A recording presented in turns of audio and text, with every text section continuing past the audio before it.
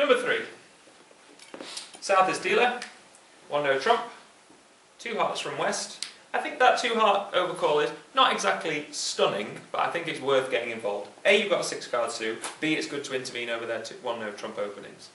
If they don't have any sophistication as Lebensohl, bidding over their one no trump often causes them squirmy issues where they don't know whether to bid three of a suit, whether that's forcing or non forcing.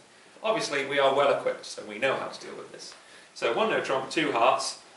Now, we want to compete in diamonds, but we don't want to force in diamonds. So by bidding our own suit, how do we show a non-forcing hand?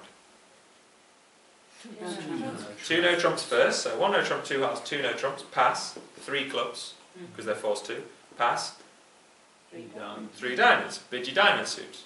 If you wanted to force with diamonds, you wouldn't have bothered going via two no trumps. Yeah? Mm-hmm. So therefore, that three diamond bid says, go away to south, I'm competing. Alright? It's a good idea to compete because two hearts looks, as far as you're concerned, likely to make, whereas three diamonds may well have a good shot because you know you've got a diamond fit. Um, so, three diamonds is the final contract. Um, north is the declarer, so east is on lead. so east is going to lead singleton of their partner's suit, hoping for their partner to have the ace, and immediately disappointed when they see dummy. Um, now, what you've got to think about is your losers again. So we've got one losing spade for definite, unless they breach spades for us. We've got no losing hearts, because the ace-king deals with them. We've got a question mark in diamonds. We've got one definite, the ace, and one potential, the queen. We've got question marks in clubs as well. Where's the ace of clubs? We could have two or three losers there. So he's not looking very pretty.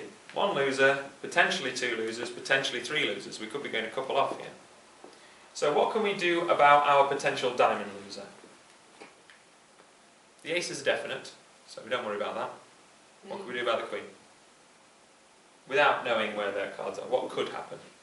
Well, I led the jack from south. Uh-huh. Trapping the queen in west. Yeah, so to finesse for it, basically. Okay, so that's that loser dealt with, in theory. It might not work. What could you do about the clubs? Wait. Yeah, that's better. Let them lead the clubs. If you're forced to lead the clubs, what's the best way to play them? Towards your king. Low towards the king. Yeah. You suspect the ace of clubs is here because they did the bidding. But they, they do have room for some cards. Because you haven't got all that many between you. So it's looking like we want to jack a diamond, trap the queen this way, or low diamond to the 10, same kind of thing. And then lead a club towards the king if we have to lead them. Okay? So, on the opening lead, win the opening lead, play your ace. They might encourage, doesn't particularly matter. And we want to draw the trumps. The reason you want to draw the trumps is because you only need, really need one of these trumps on dummies to deal with one of these clubs. So you can certainly afford to draw a couple of rounds. So Jack of Diamonds. What should you do as West?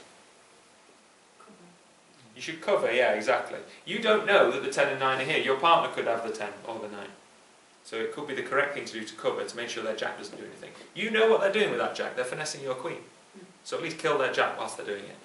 So jack, queen, king, ace.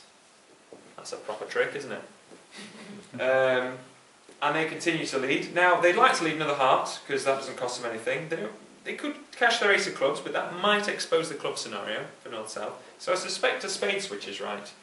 Not a low spade, because that promises an honour, so a medium-ish spade.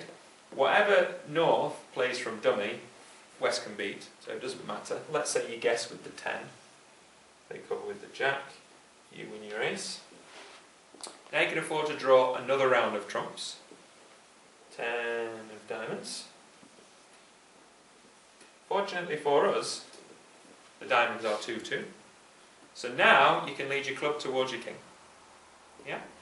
So club, they play low, let's say, doesn't matter really. Shut your eyes and play the king, and that wins. That's good. Lose the club to whomever, but I suspect it will be this person, West, because their queen wins. And now, because you've drawn the trumps before losing the lead, they can't. This hand here could not gain the lead before you did that. So, uh, because you've drawn that trump, now when they play a heart, East has not got any trumps to trump your hearts. Yeah? That's why you drew the trumps, really, because you didn't need all of these trumps. You might as well get them off the opponent in case any skullduggery is happening. And it is. So now they're on lead, they can't do anything about it. They don't really want to catch the spade, so they probably will give you a lead back. Queen of hearts. Uh, discard something, doesn't matter. King of hearts. Now you can see this is a definite loser, nothing you can do about it. This club loser, you're going to trump in dummy. Okay? So you actually only lost one club, the ace, because you trumped the other one, one diamond, the ace, and one spade. So it's possible to get 10 tricks if you do everything in the right order. If you don't draw the trumps first, well done. If you don't draw the trumps first, they might get a heart ruff. If you don't draw the trumps or do the club towards the king, you might go off. So it depends on how it goes. Okay? Right.